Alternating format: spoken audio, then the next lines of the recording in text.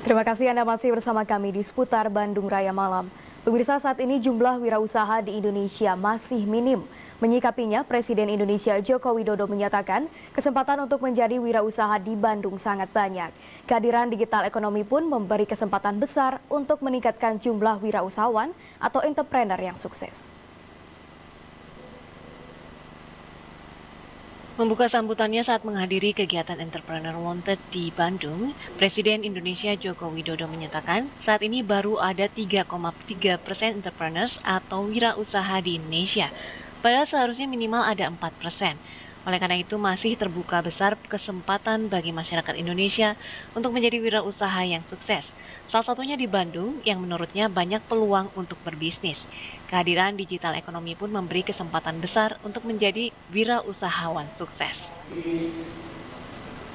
Paling tidak 4 persen entrepreneurs, 4 persen.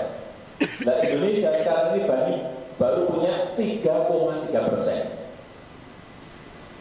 Indonesia punya 3,3 persen. Ini menurut Bank Dunia. Singapura punya 7 persen. Malaysia 5 persen, Thailand 4,5 persen.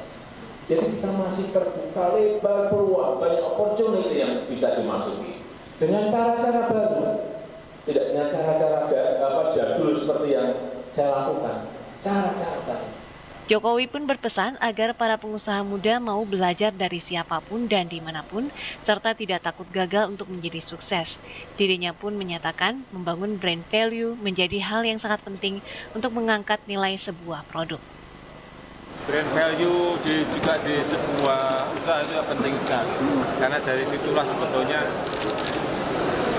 nilai dari sebuah perusahaan, nilai dari sebuah produk itu bisa diangkat.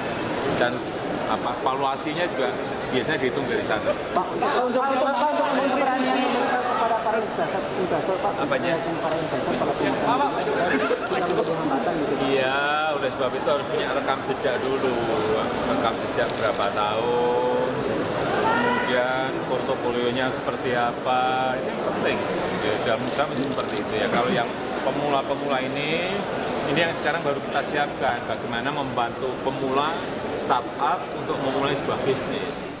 Sementara itu, Menteri Komunikasi dan Informatika Republik Indonesia Rudiantara menyatakan, saat ini pemerintah tengah berupaya membangun akses internet berkecepatan tinggi atau broadband di 514 kabupaten kota di Indonesia yang ditargetkan selesai pada akhir 2018. Selain itu, pada 2019, masyarakat yang ingin membangun startup atau aplikasi bisnis di 122 daerah terdepan, terluar, dan tertinggal atau 3T akan dibiayai oleh Kominfo. Hal tersebut untuk mempermudah masyarakat menjadi wirausahawan sukses. Jadi pemerintah sebetulnya dalam pengembangan ekonomi digital itu membantu menyediakan dana startup. Nah, Kominfo itu menyediakan tapi di daerah yang 3T yang terluar, pokoknya 3T lah. Ya. Nah ini Kominfo bisa menyediakan uh, dana untuk membantu dana startup. Mengapa? Karena dalam waktu dua tahun ke depan, 2019 kan udah nggak ada masalah lagi mau uh, bisnis online, apakah di Jawa, apakah di Papua, apakah di Sumatera, karena uh, semua 514 kabupaten kota sudah terhubung dengan broadband. Rudiantara pun menyatakan pemerintah menargetkan di tahun 2019 262 ribu sekolah, 4 ribu lebih perguruan tinggi, 3 ribu lebih puskesmas, dan 75 ribu kantor desa sudah terhubung dengan akses internet berkekuatan tinggi melalui satelit.